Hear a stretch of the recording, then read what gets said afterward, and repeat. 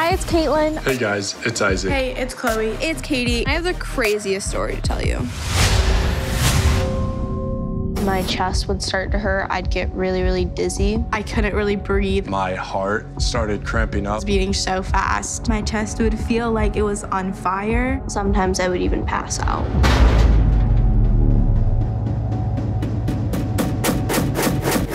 My name is Katie Joe. I'm 11 years old and I started vaping in July. I'm Caitlin. I started vaping three years ago. My name's Isaac, and I started vaping at 17. I'm Chloe. I'm 17, and I started vaping when I was 15. As soon as I started vaping, like I started having panic attacks. I thought it just affected your body and not your mindset. It was making me feel less than who I was. My confidence was just dropping.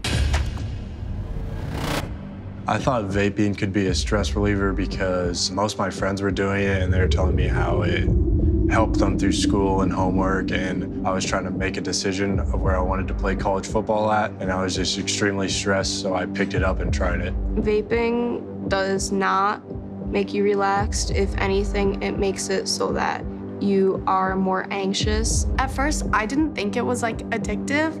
I thought I was kind of stronger than it, but soon I realized like it was holding kind of a power over me. Like I would leave class and use it, and I was always craving more and more. Like it was never enough.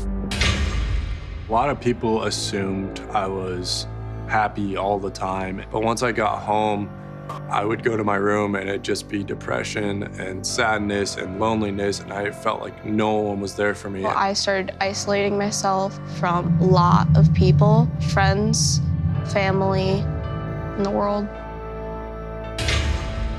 My anxiety got really bad after I started vaping. It wouldn't even have to do with vaping. It would just be like about anything really. And it was odd because I was never an anxious person before. I realized what vaping really did to me. It was not helping me cope, it was canceling out my ability to cope.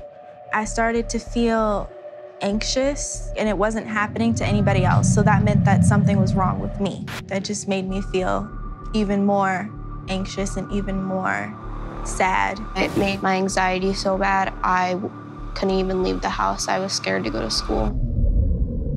And then once I stopped, everything got better. I started a club at my school with my friend Tommy. We decided that other people needed a support group to like know that they're backed when they wanted to quit. You don't have to keep doing it if it's not something that you really want to be doing. I'm someone that has done it, and so I kind of want to be that voice for the like generation coming up to make sure they don't make the same mistakes.